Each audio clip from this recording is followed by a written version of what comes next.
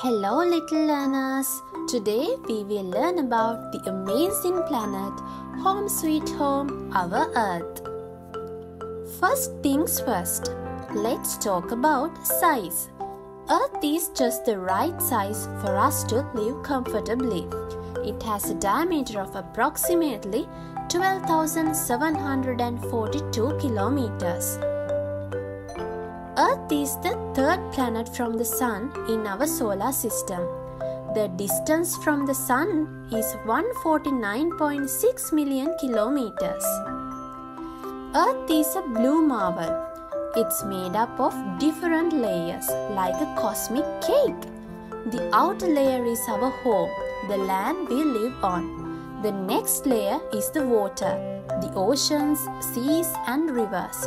Can you imagine a planet with so much water? Earth has a life supporting atmosphere, primarily composed of nitrogen and oxygen. Other gases such as carbon dioxide, water vapor, and trace gases are also present. Let's explore some unique features.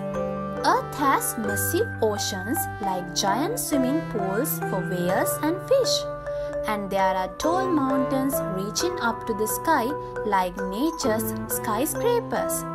It's a planet of extremes. Earth is known as the blue planet because of its abundant water. Oceans cover about 71% of Earth's surface.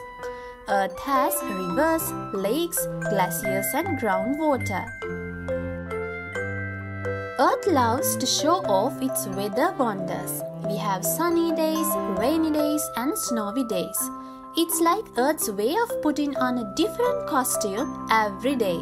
How cool is that? Earth rotates on its axis, completing one full rotation approximately every 24 hours. This rotation causes day and night.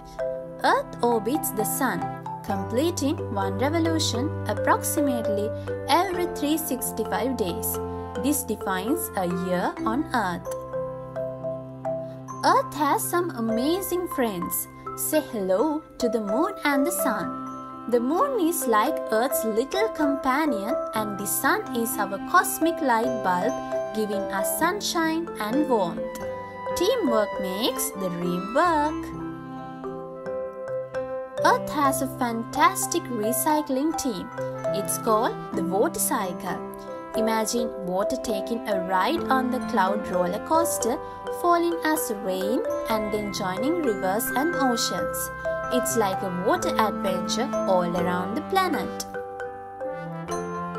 Human civilization has flourished on Earth with complex societies, cultures, and technological advancement.